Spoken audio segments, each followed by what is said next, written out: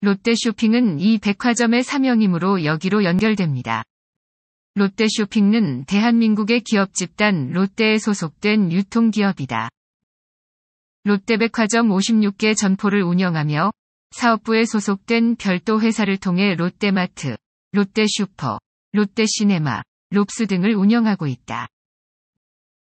롯데쇼핑은 기업 집단 롯데그룹에 소속되며 2017년 롯데잭과 롯데푸드, 롯데쇼핑 등에서 분할되어 롯데지주 주식회사가 설립되어 지주회사 체제로 전환되었다.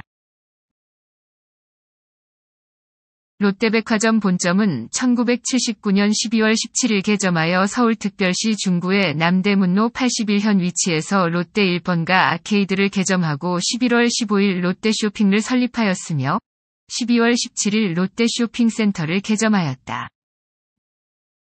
1981년과 1983년에는 의류 제조업과 동산 부동산 중개업의 사업 목적을 각각 추가하였으며 1988년 소공동 신관을 개점한 데 이어 잠실점을 잇따라 열고 롯데쇼핑에서 롯데백화점으로 명칭을 변경하였다.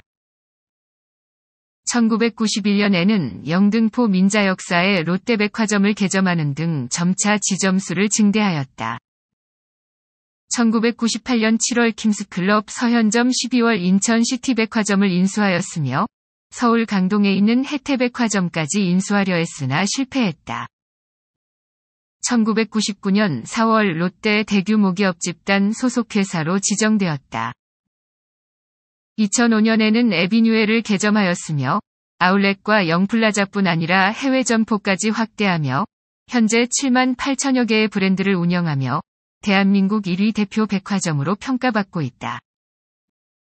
2010년 2월 27일에는 키자니아 내 백화점 체험관을 개장하였다. 모든 지점에는 롯데 ATM이 있으며 부산은행, 카카오뱅크, 한국시티은행, 유한타증권 등의 카드로 입금, 출금, 이체 등이 가능하며 캐시비, 한페이, 레일플러스 등은 충전을 할 수 있다. 2014년 9월 2일 개점, 롯데센터 하노이 1에서 6층에 위치해 있다. 2015년 3월 개점, 다이아몬드 플라자 1에서 5층에 위치해 있다. 롯데백화점이 운영하는 명품관이다. 본 점포에 부속된 대규모 명품관이다. 미니백화점을 표방하는 카테고리 킬러형 점포이다. 개점되었던 점포들은 영패션과 리빙 상품에 특화되어 있었으나 현재는 리빙 특화 점포인 세종점만 남아있다. 영패션 전문관으로 소형 백화점 규모이다. 주로 패션, 잡화 상품을 취급한다. 독립 점포는 아니지만 창원점과 울산점에도 신관의 영플라자란 상호를 사용한다.